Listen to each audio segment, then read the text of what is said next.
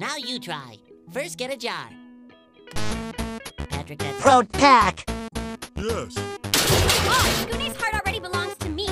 These other chicks just can't take a hint and they keep thinking about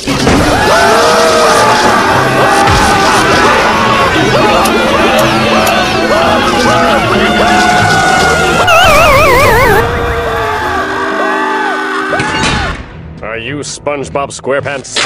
Yes! Let's book him! Wow, you guys are good. I'm the last person I would have suspected, but I was looking for me all the time. It's the perfect crime. Yeah, yeah, tell it to the judge, Pinky.